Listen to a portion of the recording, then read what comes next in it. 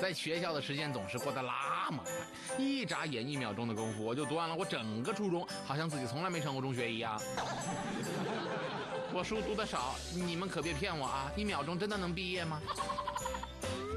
学校放暑假了，同学们也不能掉以轻心，预防溺水事故，确保学生暑期溺水。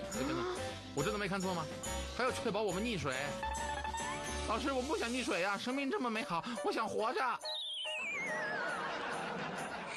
虽然我不会游泳，但我会的技能可多了，比如给门上锁，只是锁装好之后，这门锁不了。我为你的动手能力点个赞。有些时候不是你想动手就能解决的。酒店房间的灯开了一晚上，不是我不想关，而是我够不着啊。这间房可能是为姚明准备的吧。这年代外卖小哥也不好当，我躺在病床上，你来的时候悄悄的，不要让我老妈知道，不然她会打死我的。我在八楼五十四床，这一单我不敢接，万一被你妈发现了怎么办呢？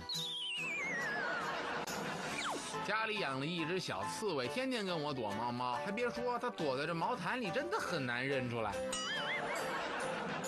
小刺猬在毛毯里仿佛找到了自己的好朋友。本来是打算上洗手间的，刚一进去我就傻眼了，马桶你是打算造反还是咋的？居然往外冒！不好意思，你卫生间气味太重，我忍不住吐了。气味不好闻的结果就是家里的狗狗都嫌弃。小黄，你快进来把我救出去！我依靠着这个洞才能勉强保持清醒。我上辈子应该是齐天大圣，这辈子还压在五指山下。可怜的除了狗狗，还有家里的猫咪。养我到底是为了啥？就是为了让我在家当你们的牌桌吗？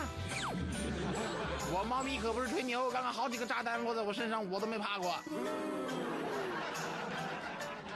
俗话说，小赌怡情，大赌伤身，强行赌博倾家荡产，赌徒心理非常的可怕，赢了还想赢更多啊，输了就想回本，十赌九输啊，赢的那个只能是赌神周润发了。在这里呢，我是真心实意的劝大家不要沉迷赌博。